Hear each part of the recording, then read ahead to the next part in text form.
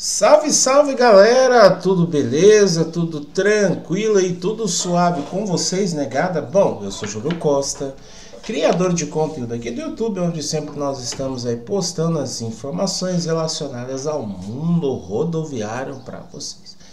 Galera, sempre estamos trazendo as informações aí relacionadas ao mundo do transporte para vocês saberem o que está acontecendo aí, né? Bom, mas antes quero dar aquele recadinho básico, tá? E nós ativamos aqui o canal Clube de Membros. Para quem quiser ajudar o canal de alguma forma aí, né? É, lembrando que pedir não é roubar, tá? E não é questão assim de vergonha. É um recurso que a plataforma dá pra gente, né? E a gente aí pode, o pessoal pode usar, nos ajudar de alguma forma aí, né? Bom, pessoal, é, lembrando a todos, não é obrigado, tá? Sentindo o coração de ajudar a gente. Infelizmente, vocês sabem que eu estou desempregado, né? E as contas não param. Mas a gente está atrás de outro trabalho aí, tá? Não tenho costume de fazer esse tipo de coisa, mas realmente o negócio está feio, gente. Então, quem puder me ajudar de alguma forma, eu agradeço. Se assistindo o vídeo também, compartilhando, deixando like, fazendo seu comentário, me ajuda também, tá bom? Bom, pessoal, é, hoje o assunto é uma, bem interessante do grupo JCA, tá? É, o iMob, um aplicativo que foi lançado aí pela empresa né, do grupo JCA, tem um lucro bem interessante. E eu quero ler esta matéria que está na revista exame.com.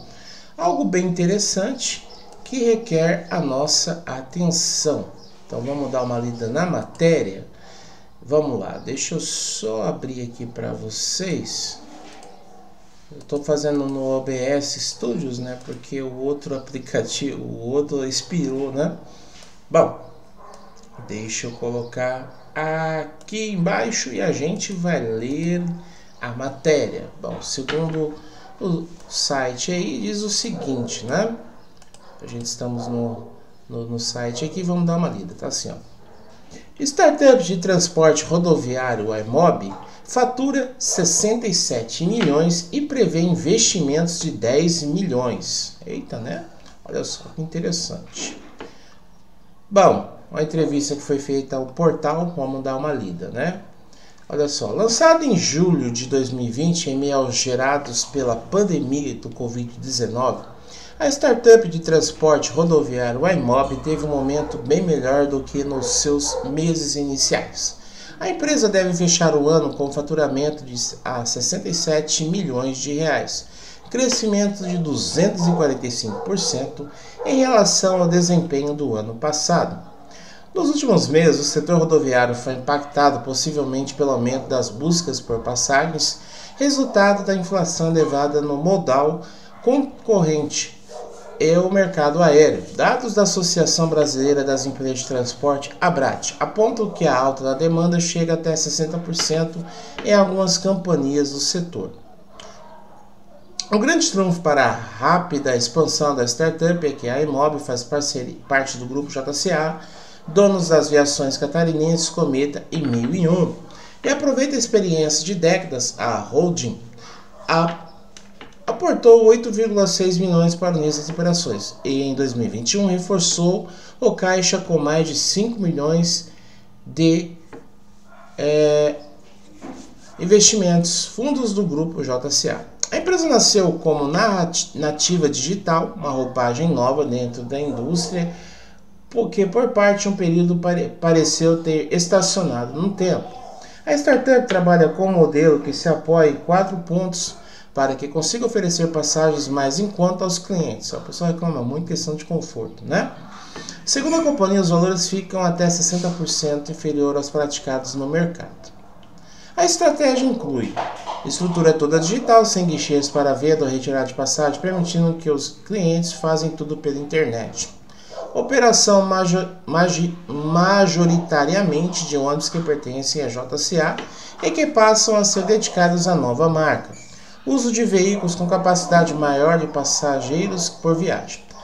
A Imob costuma usar ônibus de dois andares com 68 lugares cada, enquanto o ônibus convencional opera com 46 lugares. Né? Sair, sair a partir de outros aspectos, parte de veículos, espaços como shoppings ou estabelecimentos como a rede Graal, ao não ter que pagar as taxas das rodoviárias, empresas também economiza. Bom, a aposta do grupo na startup surgiu ao acompanhar tendências da mobilidade rodoviária global, de acordo com Rodrigo Televisão, CEO da Imob. O executivo está há cinco anos na JCA após acumular 15 anos de experiência no mercado da aviação, passando por empresas como Latam e Avianca. Além disso, o objetivo da startup era ir atrás de um outro público para o sistema rodoviário. 70% dos clientes que estão na nossa plataforma não estavam nas empresas rodoviárias. Ou eles não viajavam ou pagavam aplicativos de carona ou usavam outro modal de transporte, afirma.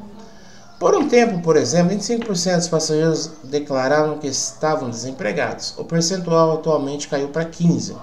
Outro dado relevante sobre o perfil do público é que as, empresas, as compras são realizadas com cerca de 20 dias de antecedência, o que demonstra uma determinada promoção para viagens. No mercado em geral, o intervalo varia entre 2 e 3 dias. O Emob opera viagens em 19 cidades, entre os estados São Paulo, Rio de Janeiro, Minas Gerais, Paraná e Santa Catarina. Ao longo de 222 mais de um milhão de passageiros foram transportados pela empresa, alta de 137% em relação a 2021. Para 2020, a empresa quer aumentar esse número e aposta na ampliação das rotas para avanço. Uma das iniciativas é o estabelecimento de parcerias como o que acabou de desenvolver com a aviação Planalto. Lembrando a todos que a Planalto ela não está mais no imóvel, segundo algumas informações que eu tive, né? Com o modelo de Marketplace, a iniciativa ampliará a oferta dos passageiros para os estados do Sul, aumentando a capitalidade na região. Ao longo do ano, a Mob espera adicionar também opções para o Centro-Oeste e o Nordeste, olha só, né? Seja a partir de parcerias, seja com operações conjuntas. Segundo previsão, o prazo do Marketplace representa 5% e não deve passar de 10% nos próximos anos. Segundo ele diz o seguinte: o grande montante de faturamento deve vir da plataforma, senão nós seremos mais um marketplace e não queremos isso, não é a nossa razão de ser. É mais um produto ali para que possamos dar serviço aos nossos clientes, fecha aspas, afirma. Bom, acompanhando o aumento das ofertas das rodas, a empresa quer melhorar a experiência dos motoristas dos ônibus na comunicação com a central dos usuários. Os 10 milhões previstos para 2023 devem ser aplicados em soluções que facilitam o dia a dia dos clientes, como remarcação de passagem, criação de um sistema self-check-in e a introdução do serviço como cashback e carteira digital. A ideia é que no final do ano tenha um cliente muito mais satisfeito, afirma a Trevisão. Outras ações previstas são a exibição de ofertas de hospedagens e integração com aplicativos de mobilidade como o Uber. Olha aí, galera, o que, que vocês acham de toda essa questão, né? Bom, eu parabenizo o pessoal do grupo JCA pelo iMob, porém existem muitos problemas que eu já relatei aqui no canal que vocês sabem, ônibus que estão desviando de rotas, alguns carros aí, digamos, não estão é, licenciados direito, né? Problemas aí em questão de manutenção com alguns veículos dos parceiros.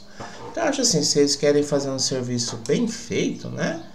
Tem alguns detalhes que eles precisam corrigir. É claro que o aplicativo aí já está um tempinho, né? E tem algumas questões que precisam ser melhoradas. É, outra questão que o pessoal reclama muito é a questão de conforto. Gente, se vocês estão pagando barato, né? Claro que os caras não vai dar um veículo top, né? Um leito total, né? Então aí também não dá, né, gente? Então, é aquele ditado que eu sempre digo, barato sempre sai caro, né? Sai caro no quê? Na questão do conforto, né? É igual antigamente a Itapemirim tinha um serviço bombom, né? Que era um serviço que era concorrente com as clandestinas, né? O pessoal sempre colocava os carros piores, né? Assim, de conforto, para concorrer, ou seja, mais um serviço mais baixo para pessoas que não tinham condições de viajar. Mas o que vocês acham dessa matéria? Bem interessante, né? Bom, espero aí que vocês gostem do vídeo. Deixe aquele like que ajuda bastante no crescimento e fortalecimento do canal. E até um outro vídeo aí. E eu fui, galera.